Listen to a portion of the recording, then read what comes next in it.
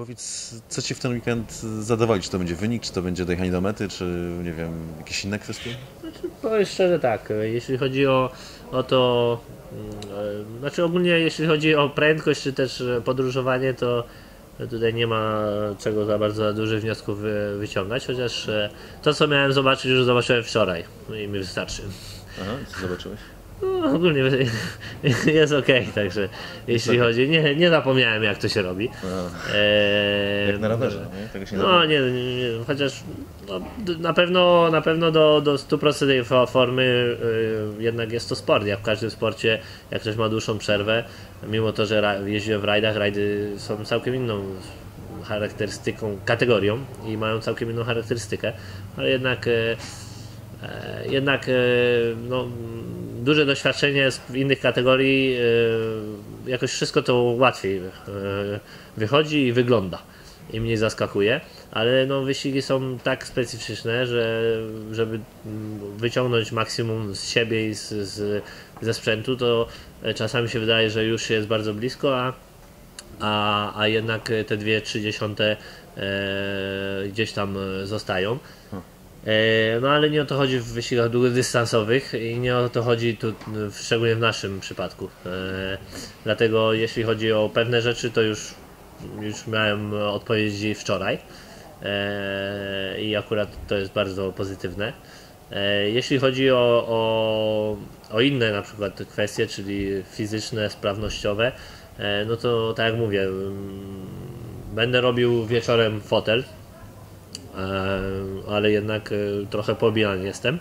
Ale ja z reguły nie narzekam, także e, jutro jak adrenalina dojdzie do tego, to na pewno jakoś sobie damy radę. No, tak jak mówię, musimy przejechać po 6 godzin, co nie będzie, nie będzie łatwe. Martin tutaj chodzi sobie luzacko, ale chyba już po wczorajszym, chociaż jego najdłuższy stint to, był, to było 10 okrążeń, a dwie godziny na przykład tak jak e, możemy pojechać to jest ponad 60.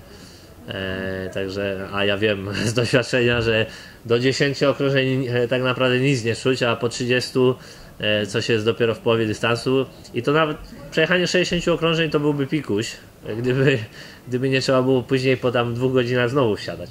Ok, jest to 12-godzinny wyścig trochę oszukany w cudzysłowie, ponieważ e, jest podzielony na 4 i 8 godzin.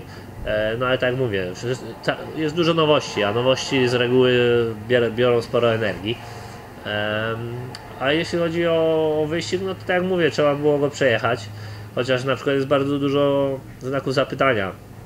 Hamulce, co jest taki, no, na długodystansowych wyścigach jest to bardzo ważne. Tutaj też, oczywiście jadąc we dwójkę, jest parę możliwości. Ja na przykład użyłbym dużo twardszych materiałów, e, które dają dużo dłuższą żywotność i byśmy spokojnie mogli pojechać ten wyścig, dojechać. No, ale ponieważ e, Martin nie jest przyzwyczajony do, do tak dużych nacisków na pedał hamulca, to mm, używamy dużo większych materiałów, które bardzo możliwe, że nie mając doświadczenia, bardzo możliwe, że będziemy musieli wymieniać na przykład klocki w trakcie wyścigu, e, co też jest nowością. E, no ale tak jak mówię, no, będzie chaos e, na torze. Ja tutaj nie będę mówił, że nie będziemy się za bardzo promować kategorii wyścigu, ponieważ nie będziemy mówić, że jest bardzo dużo lokalnych, bardzo wyśmienitych kierowców. Nie będziemy tutaj mówić, jaki tu jest bardzo wysoki poziom. Na pewno jest paru kierowców, którzy E, są e, bardzo szybkimi kierowcami, ale też jest e, ogólnie bardzo dużo w cudzysłowie amatorów, ludzi, którzy mają fan, ludzi, którzy jeżdżą dla pasji i my wszyscy jeździmy razem. Nie tylko jeśli chodzi o różność umiejętności, ale też aut. Dlatego może być, lekko mówiąc, ciężko.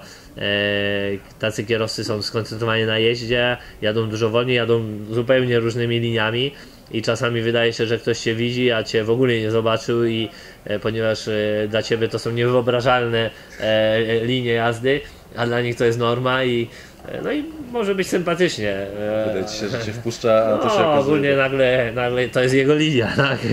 E, No, ale to są charakterystyki tego, tej, akurat tej kategorii, tej, tych mistrzostw, ale z reguły jest to fajne. Znaczy, z drugiej strony jest to fajne, ponieważ e, można zobaczyć i dentystę, i na pewno adwokata, i e, no nie wiem, różnych, różnych e, ludzi, też e, profesjonalnych kierowców, którzy dawniej byli profesjonalnymi kierowcami lub też nadal są. Po prostu robią to tak zwanych coachów, czyli trenerów. Ja akurat ktoś tu nazwał, że ja jestem trenerem, ja nie jestem trenerem, jestem tutaj, żeby pomóc e, Martinowi i jego zespole. E, Chociaż tak naprawdę nie ukrywam, że moje doświadczenie w takich wyścigach jest e, bardzo małe, ale na pewno e, sama satysfakcja, że e, Martin e, jeździł jakieś tam okrążenia, wsiadł ze mną na prawy fotel i, i, i wysiadł z auta, wsiadł za kierownicę i po trzech okrążeniach po, poprawił się o 3 sekundy, to akurat jest fajne, ponieważ e, wysiadł i mówił, a przecież ty to agresywnie jedziesz, przecież to na, na torze to tak, przecież ja to myślałem, że się jedzie jak po bułki. No właśnie to jest, to, właśnie to jest problem wyścigów, że z zewnątrz to wygląda tak wszystko fajnie, Łatwo. cudownie, łatwo, a, jednak e, za kółkiem e, oczywiście ja gdybym, ja mogę tak jechać, ale będę jechał 3-4 sekundy wolniej. E, to wszystko tak z zewnątrz e, łatwiej wygląda w porównaniu do rajdów też e, wszystko jest ład, w cudzysłowie ładniejsze, zadbane, te, te auta w ogóle nie robią wrażenia z zewnątrz, także wszyscy myślą, że to w ogóle wiesz, łatwość, i prostota, a, a dopiero później się wychodzą schody i, i każdy e, kto tak myślał i miał okazję spróbować, może dochodzi do wniosku, że jednak nie jest to tak wszystko łatwe. No i zatem życzę powodzenia.